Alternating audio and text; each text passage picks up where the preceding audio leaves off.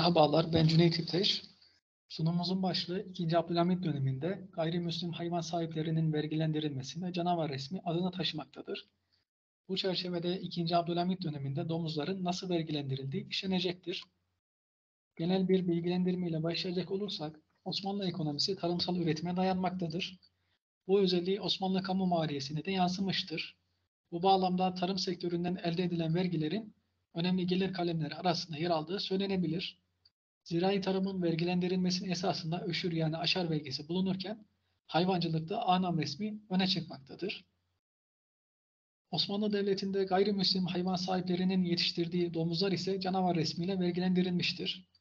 Bu vergi türü resmi kayıtlarda resmi, resmi hınzır veya resmi canavar olarak da adlandırılmış, klasik dönem Osmanlı Devleti kanunnamelerinde yer almıştır. Bu kapsamda 2. Abdülhamit döneminde canavar resminin anlatımında aşağıdaki maddeler takip edilecektir. Birinci maddemiz canavar resminin Osmanlı mali sistemindeki yeridir. İkinci maddemiz 2. Abdülhamit döneminde canavar resminin miktarıdır. Üçüncü maddemiz vergi yükümlülüklerinin tespitinde hayvan sayımlarıdır. Ve son maddemiz verginin tahsilat sürecidir. Osmanlı mali sistemindeki yerine değinelim canavar resminin. Klasik dönem Osmanlı Devleti'nin mali yapısı tımar sistemi çerçevesinde düzenlenmiştir. Bu özelliğiyle birlikte tımar kesiminde vergileme temelde üç başlık altında gerçekleştirilmiştir.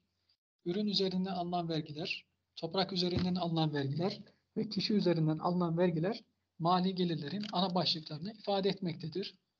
Ürün üzerinden alınan vergiler, zirai vergiler ve hayvanlardan alınan vergiler olmak üzere iki kısımdan meydana gelmektedir hayvanlardan alınan vergiler kapsamında koyun ve keçi sahipliği anam resmiyle vergilendirilmiştir.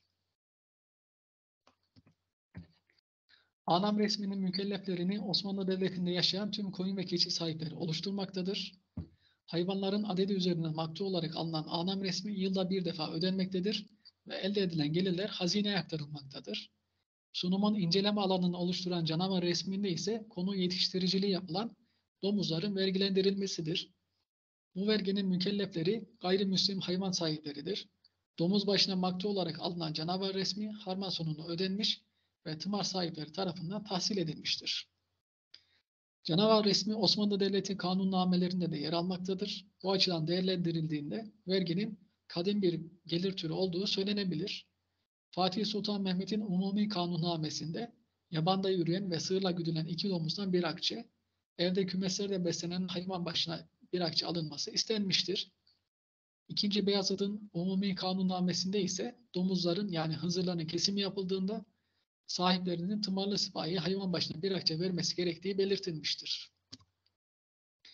Tanzimat Fermanı öncesinde Belgrad ve Alacahizar sancaklarında bulunan domuzların her birinden senede dört para alındığı ancak halkın talepleri sonrasında affedildiği ve bu gelir türüne çok çok önem verilmediği belirtilmektedir miladi 1779-1780 yılından sonra canavar resminin tahsilinin yapılmadığı ifade edilmektedir.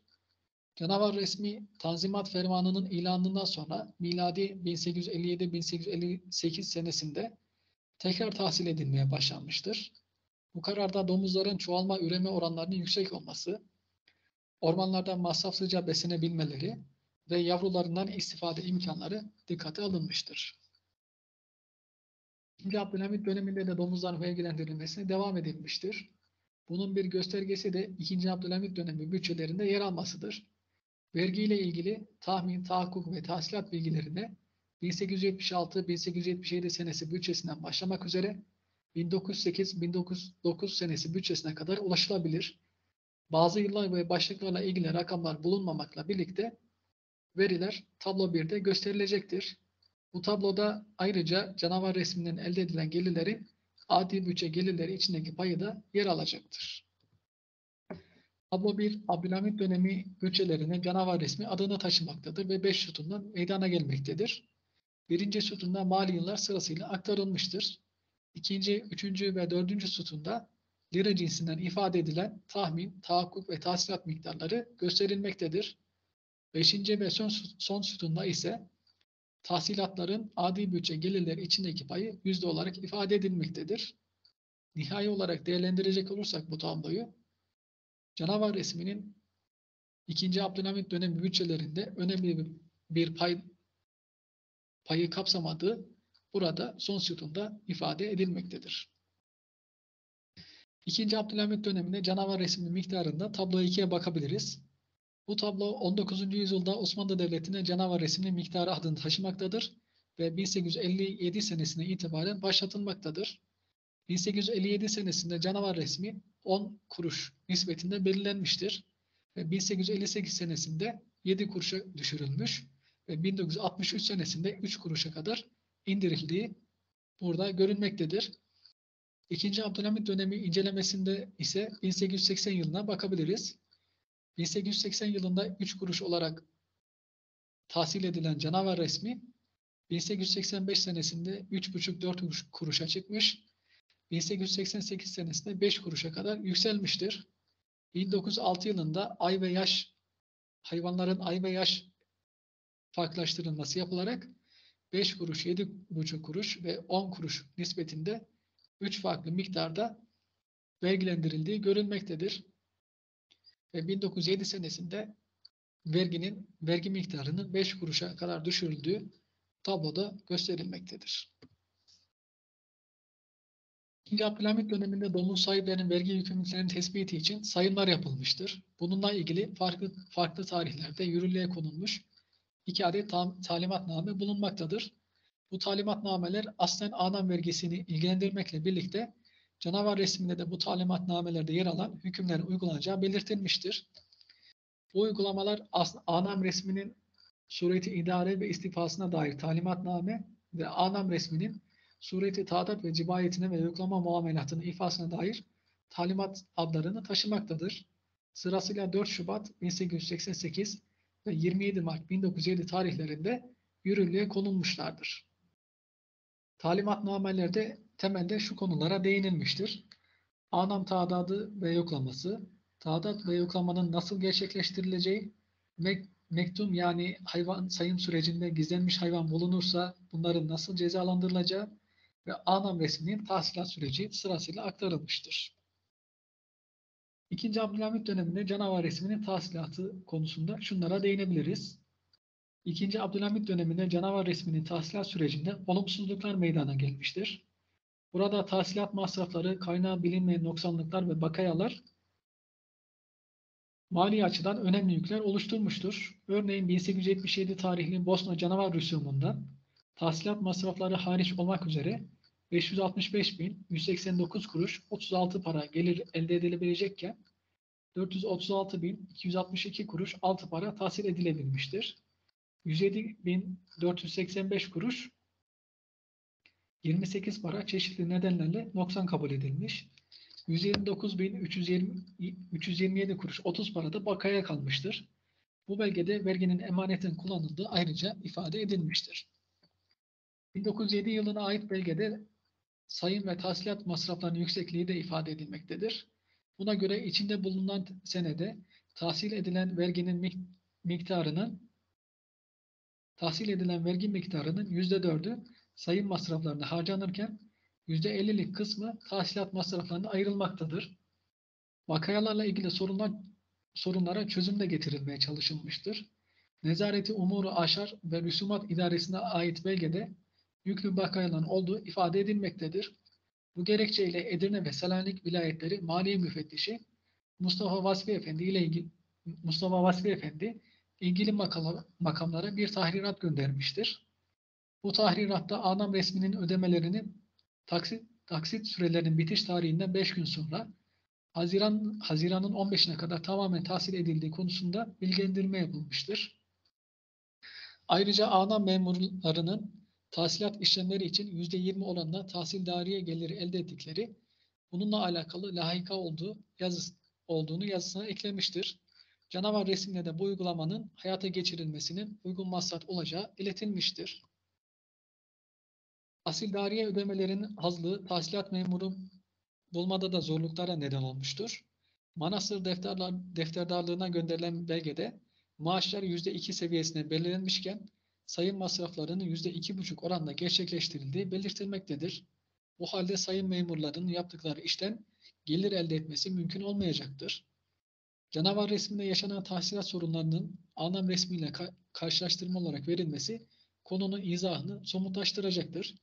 Bu amaçla hazırlanan tab- tablo 3'te 1903, 1904 ve 1904-1905 yıllarına ait Selanik, Manastır ve Kosova vilayetlerinin anlam ve canavar resmi vergileri verileri yer alacaktır.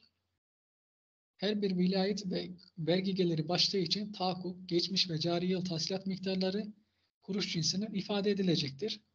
Tahsilatların başarısını ölçmek için yıllık tahsilat miktarları tahakkuk başlığına bölünecek çıkan oran yüzde olarak ifade edilecektir. Tablo 3'e baktığımızda 1903, 1904 ve 1904-1905 mali yıllarında Selanik, Manastır, Kosova vilayetlerinde ana ve canavar resmi bilgileri yer almaktadır. Burada karşılaştırmalı bir izlenim sunulmaktadır. Örneğin Selanik vilayetine bakacak olursak 1903-1904 yılında anam resminin tahsilat başarısı %99 iken canavar resmi %63 oranında gerçekleştirilmiştir. 1904-1905 yılında ise anam resminin tahsilat başarısı %99 olarak gerçekleşmiş. Canavar resminin tahsilat baş- başarısı veya yüzdesi bir anlamda da başarısızlığı %41 oranında da ifade edilmiştir. Yine Manastır vilayeti ve Kosova vilayetlerinde de benzer oranlar görülmektedir. Yani anam resminde bir vergi tahsilat sürecinde başarı görünürken canavar resminde de bir vergi tahsilat sürecinde başarısızlık görülmektedir. Burada da e, örneğin Manastır vilayetine bakacak olursak 1903-1904 yılında %70 oranında bir tahsilat başarısı görülmekte. 1904-1905 yılında %86 oranında bir tahsilat başarısı görülmektedir. Kosova vilayetinde ise bu oran %59 ve %53 oranlarında gerçekleştirilmiştir. Burada nihai bir değerlendirme yapacak olursak anlam resminin 3 vilayet genelinde ve izlenen 2 yıl çerçevesinde tahsilatlarının daha başarılı olduğu görülmektedir. Ve 1906 yılında vergi miktarında yaş ay hesabının yapılması sayım işlemlerini olumsuz yönde etkilemiştir. Bu sebeple memurlar ek sorumluluklar üstlenmişlerdir.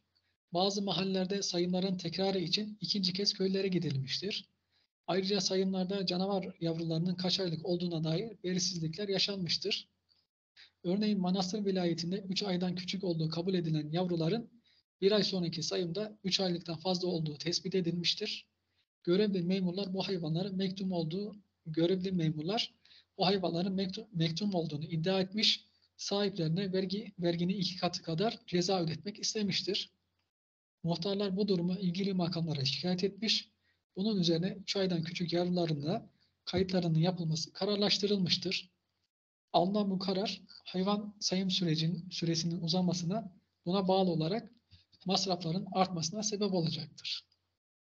Ve sonuç olarak değerlendirecek olursak canavar resmiyle Osmanlı Devleti'nde yaşayan gayrimüslim hayvan sahipleri vergilendirilmiştir. Verginin konusu yetiştiriciliği yapılan domuzlardır.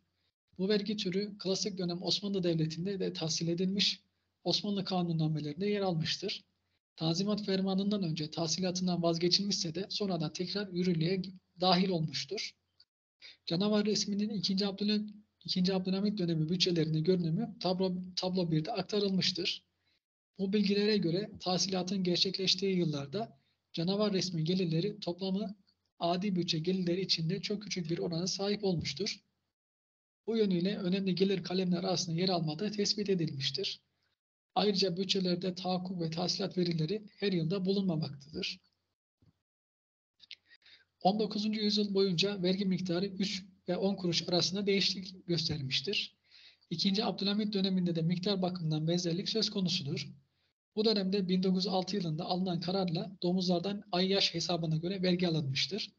Vergi miktarı farklılaşmasında hayvanların piyasa değeri hesaba katılmıştır. Ödenecek vergi miktarının tespit edilmesi için hayvanların sayımı yapılmıştır. Burada uygulanacak usul ve esaslar Ağnan vergisi çerçevesinde belirlenmiştir. Tahsilatlarda çeşitli masraflar, kaynağı bilinmeyen noksanlıklar ve bakayalar temel sorunları temsil etmektedir. Özellikle bakayalar örneğinde aktarılan arşiv belgeleri tahsilat sürecindeki problemleri aktarmaktadır. Tahsilat memurlarına ödenen maaşların gerektiği düzeyde belirlenmemesi veya tespit edilmemesi vergilemede aksamalara neden olmuştur. Öyle ki bu oranlar neredeyse mevcut masrafları karşılamayacak düzeydedir. Bu sorunun somut hali tablo 3'te gösterilmiştir ve nihai olarak canavar resminin tahsilatında bir başarısızlık söz konusudur.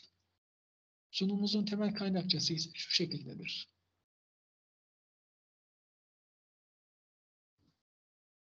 Beni dinlediğiniz için teşekkür ederim.